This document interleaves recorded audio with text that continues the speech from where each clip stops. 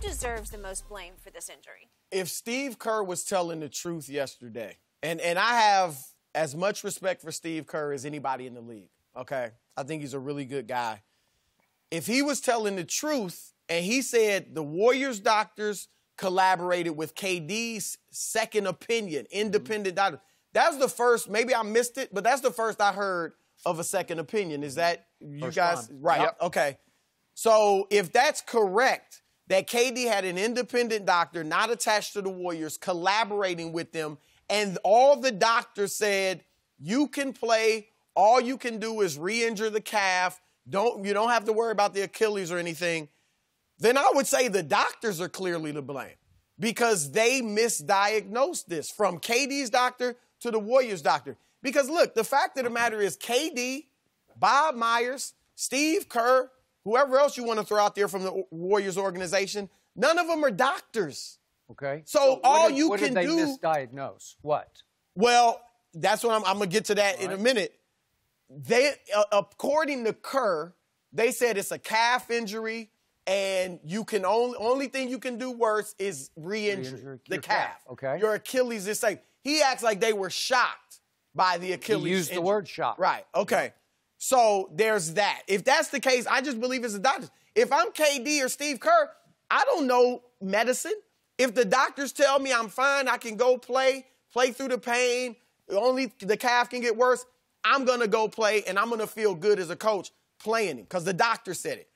Now, I don't I don't like to call somebody a liar and say they're lying unless I know for a fact. So I'm not saying that about Steve Kerr. But there are people around the league that believe. Remember, the day after it happened, I was on the show.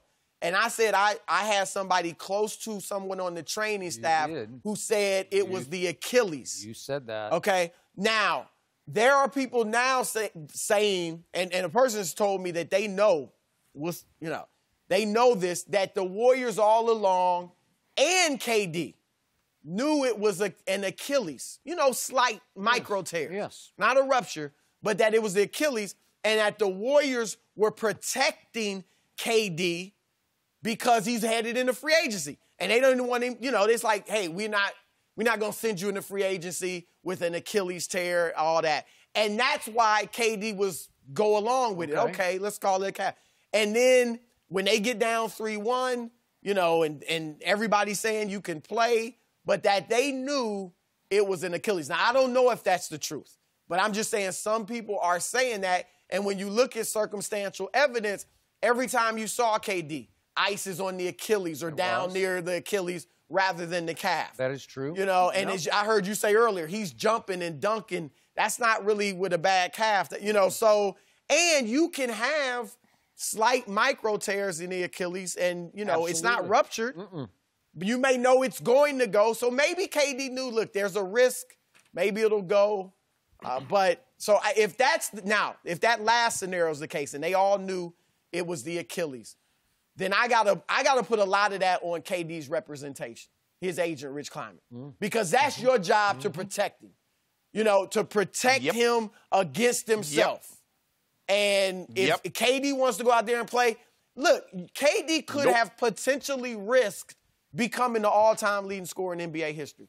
KD could have potentially risked, like if he he's gonna be healthy, we know in a year, but maybe he won't come back as KD. Maybe he comes back as Carmelo Anthony. You know, slightly not quite as good. Okay. Not good enough anymore to lead a team to a championship by himself. Okay. So now you're taking away your options. So it's just it was a risk, and those representing KD's best interest should have put their foot down if that second scenario was true and said, KD, we no. can't we can't let you do this. Okay.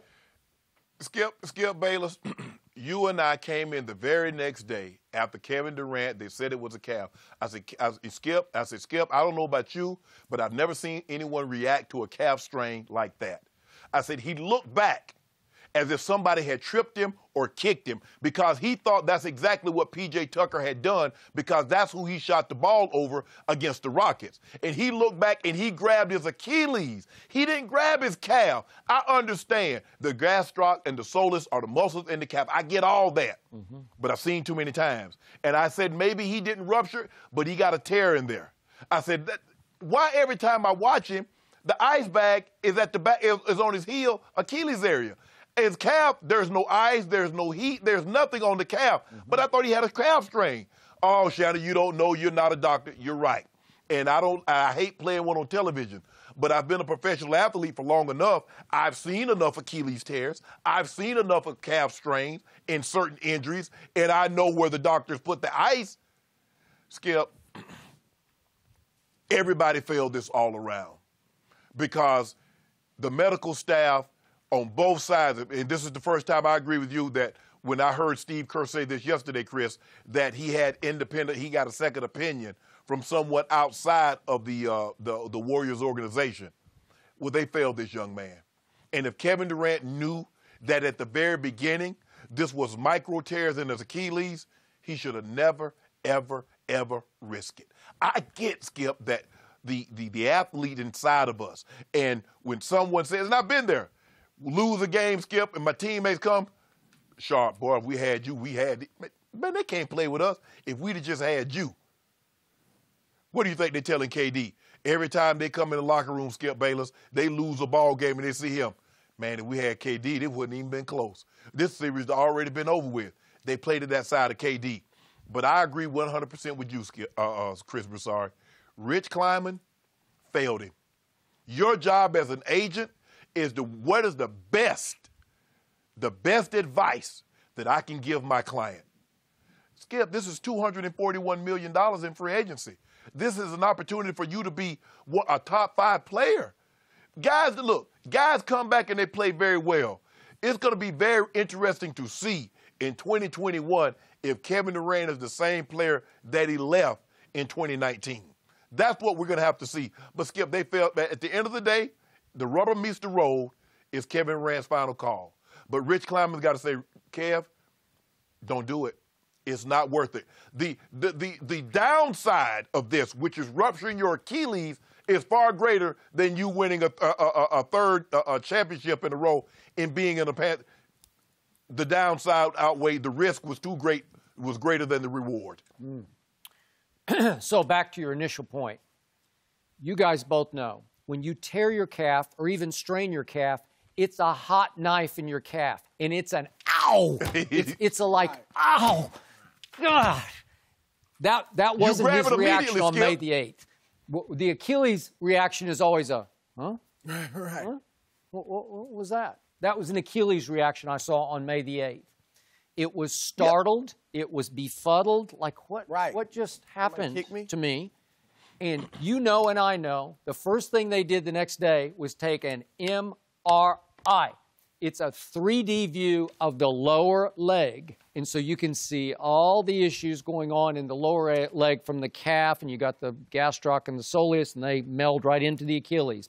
You can see if there's any issue going on with the Achilles. You cannot tell me that whoever examined the first MRI, the magnetic resonance imaging picture, didn't say, hmm, I see a little, a little problem there with the Achilles. To your point, you can have micro tears, you can have what they call fraying, you can have a little partial tear, but you can just flat out see it on the MRI. It does not lie. Yes. And so nope. somebody knew that was happening. We all believed that was happening from May 8th.